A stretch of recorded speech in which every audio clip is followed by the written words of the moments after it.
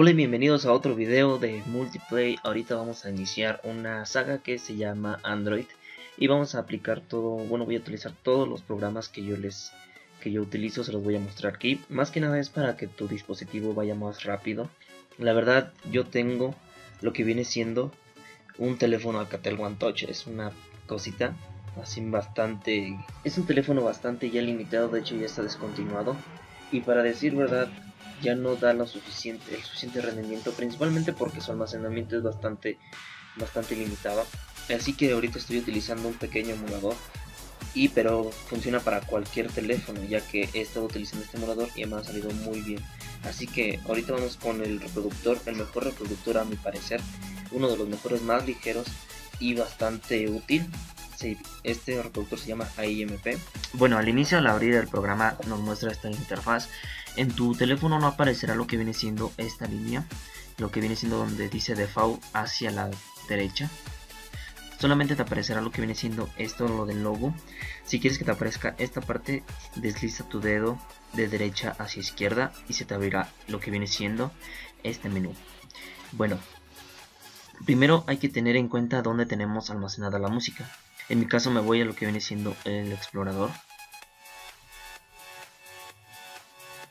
me dirijo a lo que viene siendo la memoria, me voy al slash, me voy a MNT y en mi caso lo tengo en Shared, en imagen, aquí tengo todas mis canciones, ¿ok? Así que tengan en cuenta esto que les acabo de mencionar, ya que esto es bastante importante. Bueno, ahora hay que volver a lo que viene siendo el programa. Para agregar las canciones solamente nos vamos a lo que viene siendo el icono de más y nos mostrará un menú de lo que viene siendo nuestro disco o nuestro disco de almacenamiento. Ok ahora como les mencioné aquí viene lo que viene siendo MNT hay dos opciones dar doble clic y nos abrirá lo que viene siendo otro menú dentro de la carpeta y tomar en Shared y dar otro clic. Seleccionar lo que viene siendo con este icono y automáticamente seleccionarán todos y dar en la palomita en la palomita que se encuentra aquí a la derecha en la parte inferior. Esta es una opción, pero también hay otra bastante muy útil. Bueno, vámonos otra vez. Nos regresamos a la dirección anterior, lo que viene siendo MNT, solamente lo seleccionamos con una palomita y automáticamente toda la música, los audios que tengamos dentro de esta carpeta estén fuera o dentro de la carpeta original donde tenemos todas las canciones, no las reconocerá. Damos en la palomita y como vemos no ha tardado bastante en cargar la música ya que no, no tengo muchas canciones a decir verdad. Y como vemos cargó bastante rápido. Son 73 canciones 4 horas 5 minutos 22 segundos y 302 megabytes ok aquí está toda la lista de las canciones y para ordenarlo de la manera que más nos convenga nos vamos a esta parte y solamente vamos subiendo o bajando conforme a nosotros queramos. Como vemos nos los va ordenando ya sea de manera por artista, por álbum o por lo que queramos. También aquí viene esta opción de nombre, álbum, artista, género. Y en mi caso lo voy a ponerlo por lo que viene siendo artista.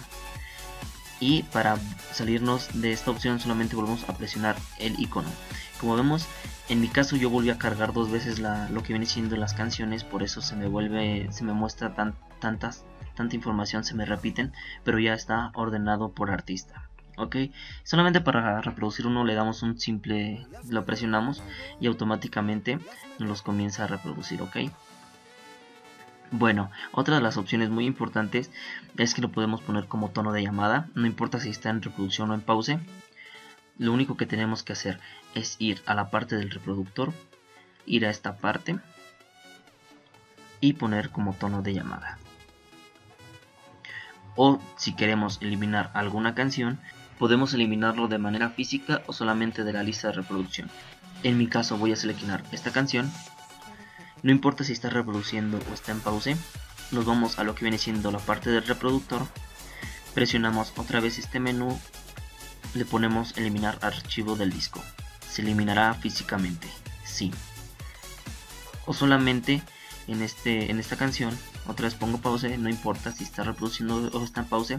Vamos a este menú y lo ponemos eliminar de la lista y listo no se eliminará físicamente también tiene la opción de manera aleatoria y de manera reproducir una vez o no, o no volver a repetir ok también existe la versión para lo que viene siendo Windows y en ella en la versión para Windows hay varios skins.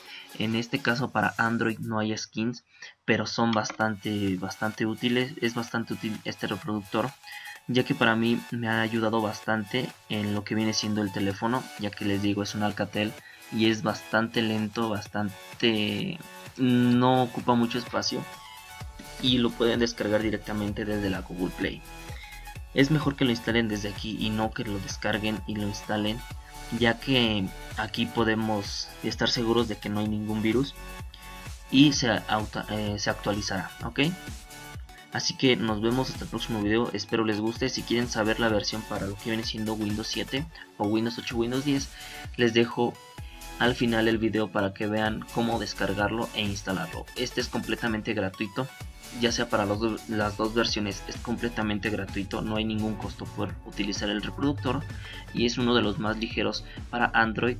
Y si les interesa les vuelvo a mencionar está al final el video para que puedan instalarlo en su computadora. Ok nos vemos hasta el próximo video. Adiós déjenme su comentario suscríbanse. Adiós